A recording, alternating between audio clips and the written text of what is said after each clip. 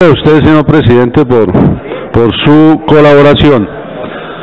Eh, yo sé que este, este tema para algún grupo, no mayoritario afortunadamente, eh, no despierta el suficiente interés. Probablemente si estuviéramos hablando del, del tan manido tema de las vallas, estaríamos todos muy atentos, o estarían muy atentos. Este no es el que despierta mucho interés. Pero yo les quiero contar, porque a mí sí me llama la atención el tema, es que el Magisterio colombiano tiene dos estatutos para una misma profesión, para una misma actividad educativa, cultural, de convivencia.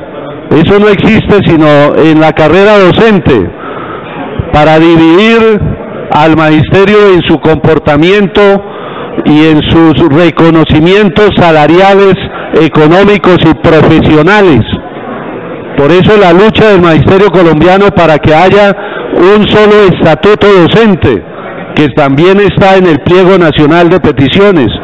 Y estaba hablando de la unificación salarial que tiene que ver con el estatuto antes mencionado.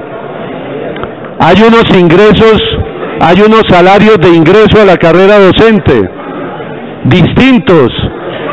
Un salario de ingreso para la misma cantidad de estudio, la misma formación profesional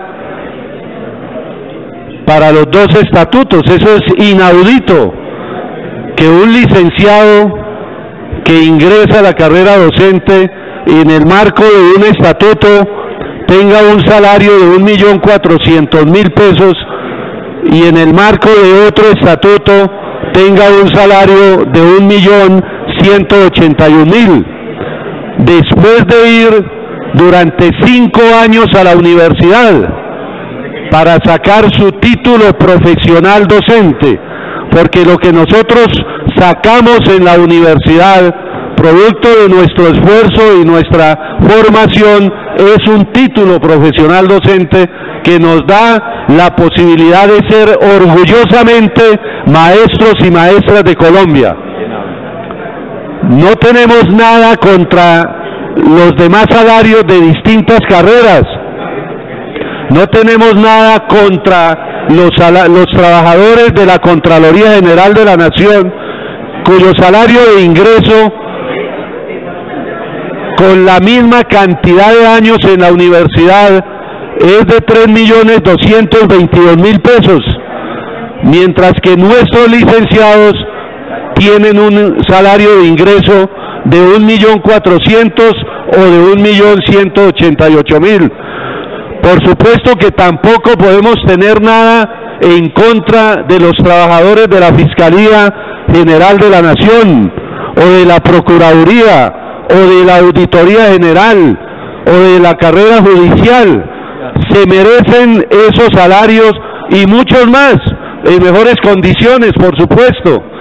Lo que lucha el magisterio colombiano en razón de su título profesional y de su experiencia es que tengan un salario digno, un salario justo, para que les podamos también reclamar con todo el ímpetu en algunas oportunidades. Algunos dicen, pero es que los esos salarios de los maestros ¿Qué tan elevados son?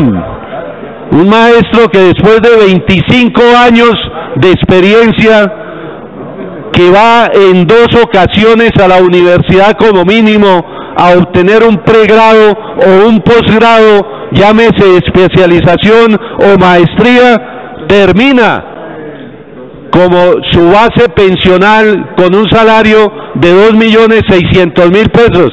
¿Qué cantidad de dinero gana después de 25 años de trabajo.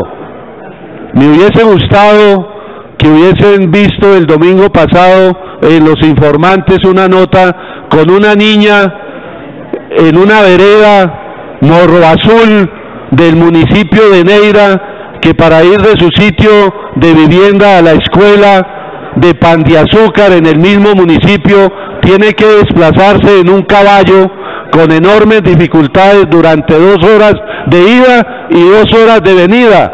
Pues eso mismo tiene que hacer ese maestro para ir a esa escuela. durar a caballo o a pie cuatro o cinco horas de desplazamiento y salir al municipio cada mes a reclamar su escasísimo salario. Eso es lo que estamos reclamando los maestros de Colombia.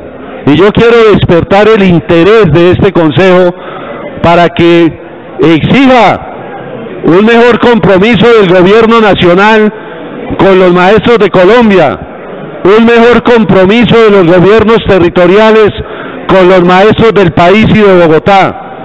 Entonces, señora presidenta, más tarde, cuando se, culmine la elección a lo que nos convocaron en la mañana de hoy, saldremos a acompañar la justa movilización del magisterio colombiano por reivindicar los puntos de carácter social, educativo, cultural y profesional del pliego nacional de peticiones del magisterio colombiano en cabeza de la Federación Colombiana de los Trabajadores de la Educación. Muchas gracias, señora Presidenta.